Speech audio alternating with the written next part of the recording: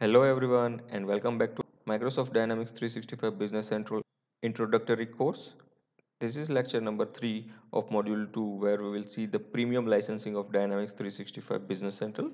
In previous lecture we have seen the different functionalities that are available under essential licensing and what is the per user per month cost for an essential license.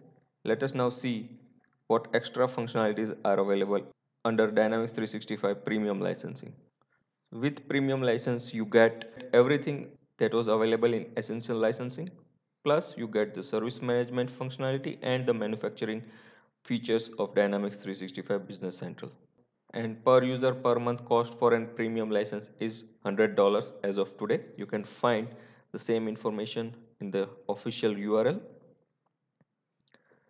And also you can find Dynamics 365 Business Central licensing guide in the resource section and the description of this lecture as well.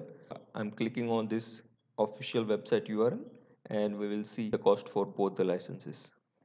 You will landing on this page and if you scroll down here you can see Dynamics 365 Business Central license is costing $70 per user per month and premium license cost you $100 per user per month. So in your company if there there are other users who wants to use Dynamics 365 Business Central, then you need to purchase team member license and that will be costing you $8 per user per month.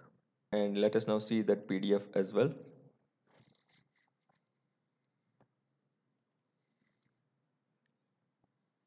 So this is the official licensing guide by Microsoft where you can find all the required information that you need to understand the licensing of Dynamics 365 Business Central. So having said that, that is all about Dynamics 365 Business Central licensing module. In next module, we will see the different user interface components of Dynamics 365 Business Central. So I hope to see you all in the next module. Till then, bye-bye and take care.